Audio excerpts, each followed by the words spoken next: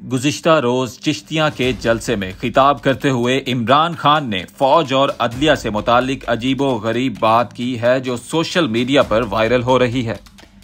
इनका कहना है कि फौज और अदलिया पर तामीरी तनकीद करता हूँ। इन पर ऐसे तनकीद करता हूँ जैसे बाप बेटे पर करता है, ताकि वो बेहतर इंसान बने। जलसा आम से खिताब करते हुए इमरान खान आर्मी चीफ की तकर्री के इशू पर इजहार ख्याल करने से बाज नहीं आए।